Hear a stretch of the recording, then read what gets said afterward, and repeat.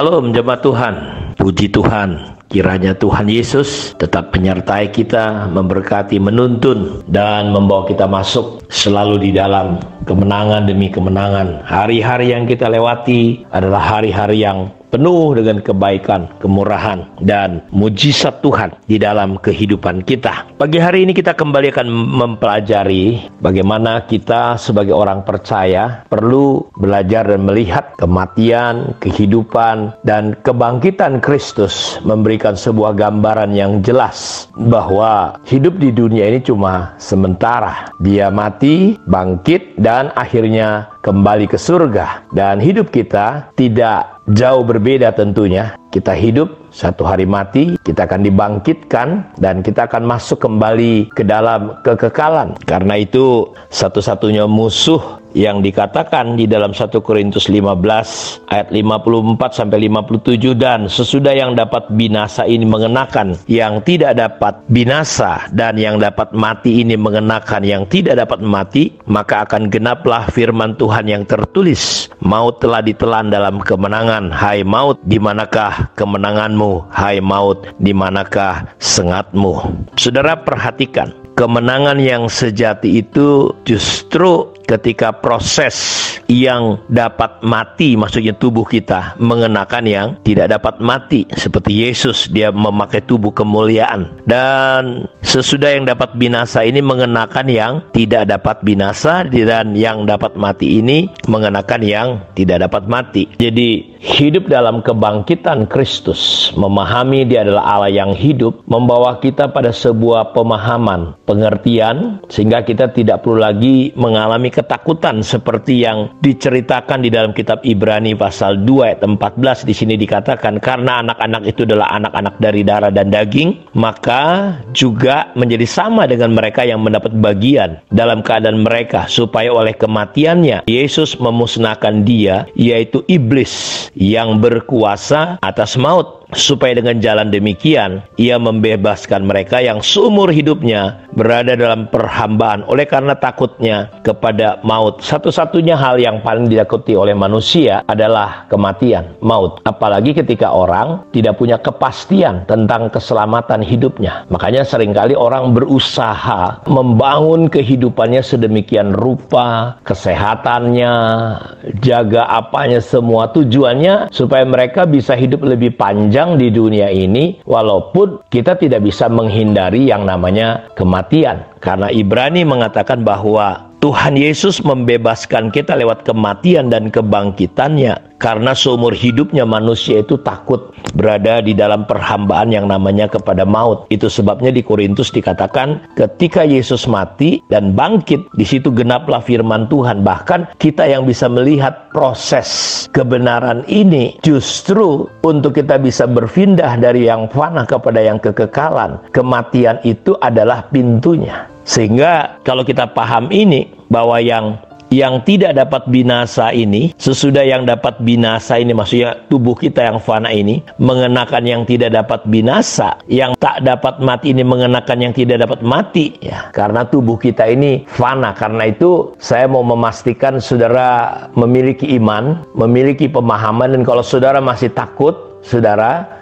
saya mau beritahu, jalan satu-satunya untuk menghindar dari kematian adalah menerima Yesus sebagai Tuhan dan Juru Selamat kita. Satu hari saya mendengar sebuah suara berkata di tengah puncak kejahatan saya, Dion, kamu kalau mati ke mana? Sejak itu saya berpikir uh, saya mengalami ketakutan yang luar biasa tentang kematian. Karena saya tahu saya pasti akan mati dan Dulu saya tidak pernah berpikir tentang kematian. Yang saya pikirkan adalah Bapak Ibu, bagaimana saya punya uang banyak, saya hidup ditakutin orang. Karena filosofi hidup saya, pandangan hidup saya adalah kalau banyak uang itu enak. Saya berusaha mencari uang dengan jalan-jalan pintas. Yang penting punya uang banyak, hidup saya ditakutin orang. Sampai sebuah suara muncul dalam hati saya, kalau kamu mati ke mana? Itulah awal tahun 80 saya mulai mencari-cari bagaimana caranya supaya saya jangan mati dan kalau mati pun jangan masuk neraka karena saya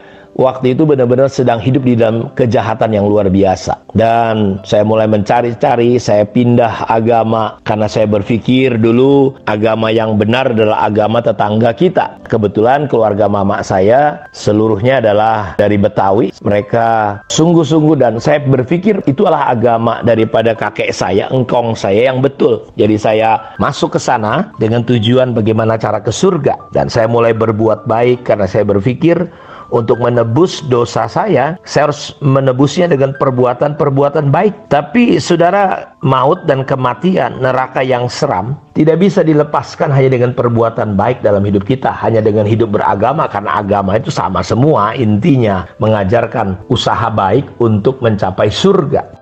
Tapi saya beritahu tidak ada jalan keluar. Karena itu Alkitab berkata semua orang sudah berbuat dosa, tidak ada yang benar, seorang pun tidak ada yang benar dan upah dosa adalah kematian dan maut. Itulah yang dikatakan oleh kitab Ibrani pasal 2 ayat 14 ini Bapak Ibu ya, bahwa bagaimana karena anak-anak itu adalah anak-anak dari darah dan daging, maka dia juga Yesus menjadi sama dengan mereka dan mendapat bagian dalam keadaan mereka. Dia mengalami seperti yang kita alami supaya oleh kematiannya ia memusnahkan dia yaitu iblis yang berkuasa atas maut supaya dengan jalan demikian ia membebaskan mereka yang seumur hidupnya berada dalam perhambaan oleh karena takutnya kepada maut. Dan puji Tuhan, tahun 83 saya berjumpa akhirnya lewat sebuah proses-proses panjang tiga tahun pencarian. Waktu itu saya sudah niat untuk masuk pesantren ke pesantrennya Gus Dur Tebu Ireng, ya, Gontor di Jawa Timur sana, Bapak Ibu. Dan saya sudah siap, tapi waktu itu ada kejadian papa saya meninggal. Saya sudah lama hidup di jalanan, saya pulang dan mama saya bilang tunggulah sampai 40 hari papa meninggal. Singkat cerita, saya jumpa akhirnya dengan seorang hamba Tuhan dan dia berkata, kamu ingin ke surga. Lalu dia kasih ilustrasi yang masuk akal saya pada waktu itu. Dia berkata, kamu orang Manado, saya orang Toraja, lalu ada orang Batak. Terus ada orang tanya bagaimana caranya ke Tanah Batak. Kamu bukan orang Batak, lalu kamu bilang, oh ke Tanah Batak itu begini, begitu, begini, begitu.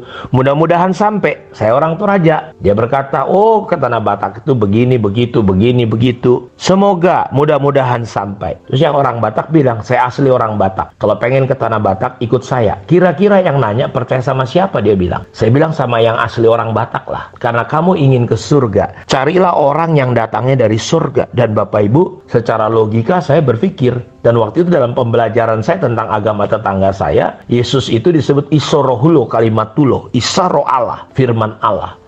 Satu-satunya orang yang pernah datang dari surga itu namanya Yesus. Semua tokoh-tokoh agama besar mati dan kuburannya ada, mayatnya ada. Tetapi Yesus mati dan kalau saudara pergi ke kubur Yesus, mayat Yesus nggak ada tulang-tulangnya. Seperti yang kita baca kemarin, bahwa malaikat menggulingkan batu itu dan murid-murid melihat dengan jelas kubur itu kosong membuktikan bahwa Yesus hidup. Dia tidak mati. Karena itulah pengharapan kita di dalam Tuhan. Sehingga kita tidak perlu lagi takut mati. Tapi ketika kita hidup sekarang, Tentu ada maksud Tuhan. Kita ini buatan Allah diciptakan dalam Kristus Yesus untuk melakukan pekerjaan baik yang telah diciptakan Allah sebelumnya. Allah mau kita hidup di dalamnya. Hidup di mana? Di dalam rancangan kekekalannya. Kita ada di dunia bukan karena mau papa mama kita walaupun kita dari berbagai suku, kita punya warna kulit yang beda, tapi kita ada di dunia bukan karena kehendak papa mama kita. Papa mama kita hanya dipinjam, tapi kita ada karena kehendak Allah di dunia ini. Karena itu saudara, tidak peduli latar belakang kita, siapa ayah dan ibu kita, kita ada karena Allah. Untuk apa kita ada di dunia? Yaitu untuk kembali mengerjakan pekerjaan yang telah diciptakan Allah sebelumnya. Dan Allah mau kita hidup di dalamnya. Sehingga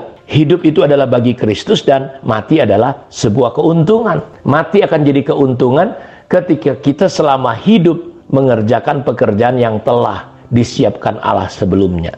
Saya berdoa pagi ini kiranya kita mengerti, memahami destiny, identitas kita dan tujuan hidup kita dan sehingga kita punya value, nilai-nilai hidup yang benar di hadapan Tuhan. Kiranya Tuhan memberkati kita, mari kita hidup dalam kuasa kebangkitan Kristus. Shalom.